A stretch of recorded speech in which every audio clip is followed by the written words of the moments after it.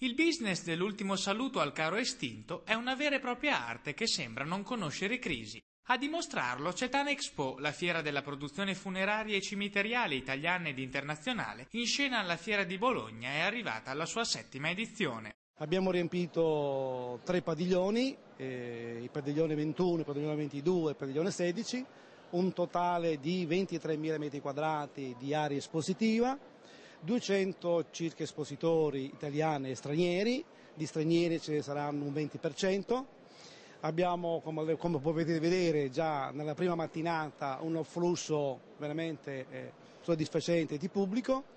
Ci attendiamo sicuramente di arrivare a superare, almeno per i visitatori, il numero di due anni fa, che eravamo arrivati intorno ai 14-15 mila.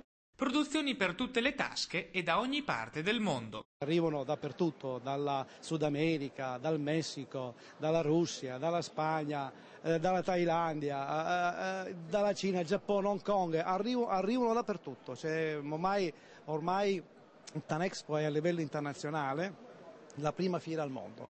E la fantasia non ha limiti questo cofano con uh, un telesoccorso, un sistema, un software che permette in caso di risveglio della morte apparente la possibilità di, di comporre un numero da tastiera vocalmente e ha un software di localizzazione satellitare che permette la rintracciabilità del, della cassa qualora venga trafugata.